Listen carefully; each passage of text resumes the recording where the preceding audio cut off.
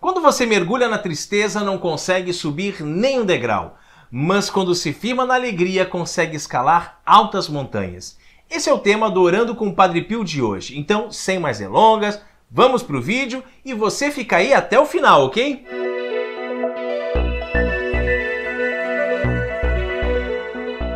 Vinde a Deus em meu auxílio, socorrei-me sem demora. Remédio para a própria tristeza é procurar com dedicação consolar a tristeza dos outros e entregar a Deus a sua própria tristeza na fé. Nada seca tão depressa como uma lágrima quando enxugamos a lágrima alheia. A caridade produz a alegria. Todas as pessoas e grupos que fazem o bem aos outros são alegres, né? E Padre Pio diz: a tristeza é a morte lenta da alma e não tem nenhuma utilidade. Escreve nos comentários o que você entendeu sobre essa frase de Padre Pio. E claro, já curta também esse vídeo, combinado? Em meio às tribulações, o cristão jamais está triste, mas sempre testemunha a alegria de Cristo. Foi o que afirmou certa vez o Papa Francisco. Na presença de um grupo de funcionários da fábrica de São Pedro, o Papa falou que o cristão enfrenta as dificuldades não só com alegria, mas também com paciência. O Santo Padre deu o exemplo de muitos mártires, como os de Nagasaki, que se ajudavam reciprocamente esperando o momento da morte. Outros iam para o martírio como se estivessem se dirigindo a uma festa de casamento. Esse comportamento de suportar a dor e o sofrimento é a atitude normal do cristão e não a de constante lamentação. É porque pense bem, afinal de contas, o que você ganha ficando triste? Qual é a utilidade da tristeza, hein? Padre Pio diz que ela não tem utilidade nenhuma. Claro que às vezes acontece, né? Que de repente, assim, do nada, sem motivo algum, inclusive nós ficamos tristes, nos sentimos tristes, né? Mas por que será? Quer ver uma coisa? Está indo tudo bem, né? No meu dia. Acordei hoje pela manhã, estou viva, tenho saúde, tenho uma cama quentinha, roupas para vestir, comida, um teto para morar, sou uma filha amada de Deus, né? Vou à Santa Missa todos os dias. Então, por que ficar triste? Qual é a utilidade da tristeza? É, a tristeza aparece por causa de pequenos aborrecimentos. Um plano que você fez e não deu certo. Seu filho que desobedeceu ou mentiu para você mais uma vez. Uma notícia desagradável. Uma injustiça que você sofreu, uma difamação contra você. Ou um pouquinho né? de cada uma dessas é, coisas. Ou né? então a esposa está naqueles dias, né? São muitas as coisas que podem nos deixar tristes num momento mas logo recuperamos a alegria que é típica do cristão. Ou pelo menos precisamos recuperar a alegria com rapidez. Então, fique sempre atento a isso. É natural se entristecer e chorar, mas não pode ser natural parar no sofrimento. É, há poucos dias atrás o mundo católico estava mobilizado, rezando e fazendo tudo o que estava ao nosso alcance para evitar que um bebezinho de sete meses fosse assassinado no ventre de sua mãe, uma menina né, de apenas 11 anos de idade. A mídia esquerdista manipulou toda a história dizendo que foi estupro, o que seria uma tragédia, né? Mas no fim das contas a verdade foi revelada e a menina estava grávida do seu namoradinho, que também é o seu meio-irmão, outra criança de apenas 13 anos. E parece que os pais sabiam do namoro dos dois e não fizeram nada para evitar. Quer dizer, uma grande tragédia, né? Mas não o estupro, e sim a sexualização precoce das nossas crianças, incentivada e aplaudida por famílias desestrutura desestruturadas, né? Enfim, veio a notícia de que conseguiram na justiça realizar o assassinato do bebê. Era uma menininha de sete meses que podia ter nascido saudável e dada para a adoção, mas que preferiram sacrificá-la no altar de Satanás.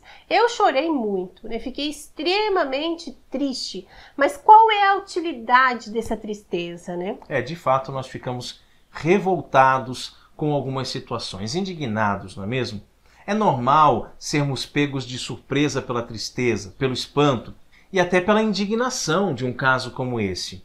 Mas eu entendo que quando o Padre Pio diz que a tristeza é a morte lenta da alma, ele não está dizendo que nunca podemos, de forma alguma, ficarmos tristes. Né?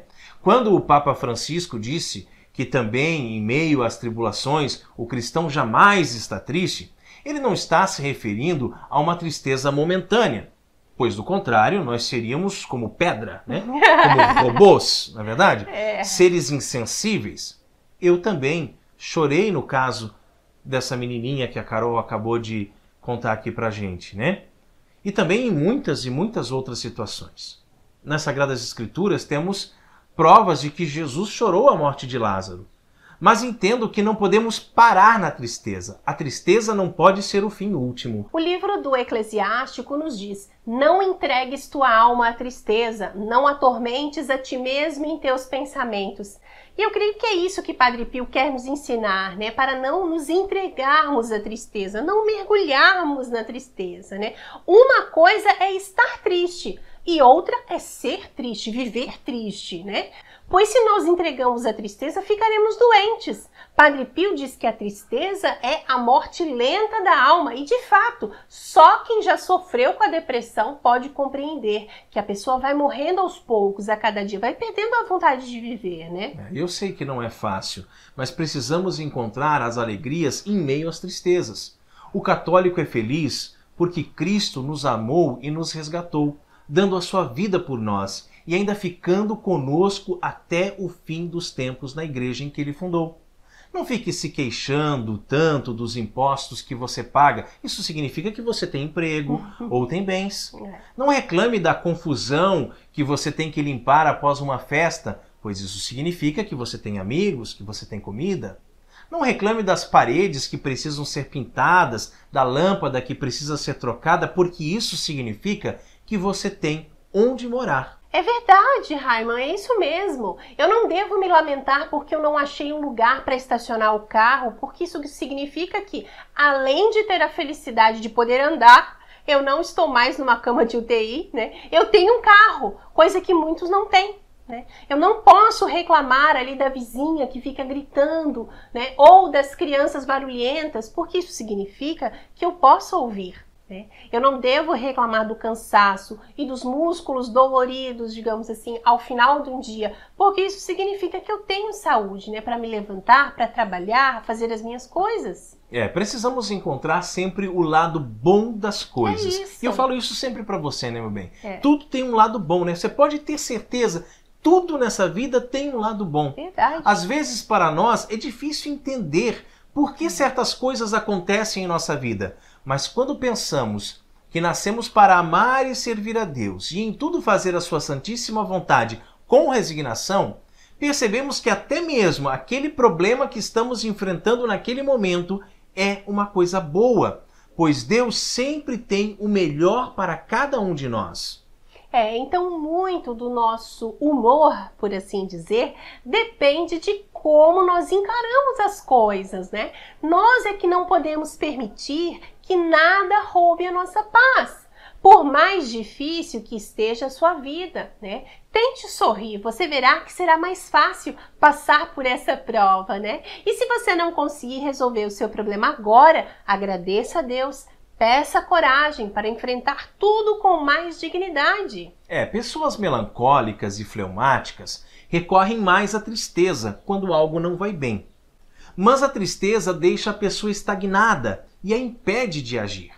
Coléricos e sanguíneos tendem a deixar a tristeza de lado mais rapidamente e buscar soluções para os problemas impulsionados por uma motivação visceral. Né? Mas, independentemente de qual é o seu temperamento, não permita que nada acabe com seu ânimo. Evite ficar remoendo, pensando, pensando, pensando. Afinal, o que não tem solução solucionado está. É isso mesmo, gente. Não estrague o seu dia, nem o dia do outro, né? A sua irritação não solucionará problema nenhum e você ainda pode trazer mais problemas, né? As suas contrariedades não alteram as coisas. Os seus desapontamentos não fazem o trabalho que só o tempo conseguirá. Né? O seu mau humor não modifica a sua vida e pode, inclusive, prejudicar a vida do outro. É, procure manter sempre o bom humor Quem é casado, por exemplo, sabe o quanto é desagradável quando um dos dois está mal-humorado. Pode ser que o casal não tenha dinheiro, não tenha casa própria, carro, nem tantas outras coisas que muitos defendem como condição para a felicidade. Mas se esse casal tem amor e tem bom humor, ele aprende a aproveitar bem o tempo e é feliz aqui e agora. É. Santo Tomás de Aquino tem um belíssimo ensinamento sobre como espantar a tristeza. São cinco remédios, digamos assim. O primeiro deles é conceder-se algum prazer. A tristeza, ela tira a cor, né, e a perspectiva de coisas boas, de futuro mesmo, né? As pessoas perdem até o apetite. Nesse sentido, então, o prazer está para a tristeza, assim como o descanso para o cansaço. Olha que interessante, né? Assim como o repouso do corpo é um remédio contra a fadiga, assim o prazer é um remédio para mitigar a tristeza, né? Qualquer que ela seja, de Santo Tomás de Aquino. É, e o segundo remédio é o choro, é isso mesmo, chore, chore. Embora possamos entender o ato de chorar como o próprio efeito da tristeza, as lágrimas aliviam, né? Aliviam a tristeza considerando que colocar para fora o sentimento através do pranto diminui internamente a tristeza. O choro, portanto, é um grande aliado para ajudar a desfazer o nó da garganta.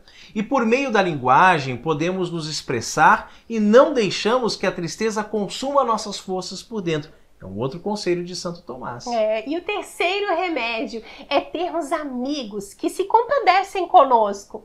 A amizade, ela se manifesta tanto por nos alegrarmos com os alegres, como nos compadecermos dos que sofrem. Acredita Santo Tomás de Aquino que por isso né, ambas as coisas se tornam agradáveis. Além disso, a relação entre amigos impõe uma reciprocidade, né?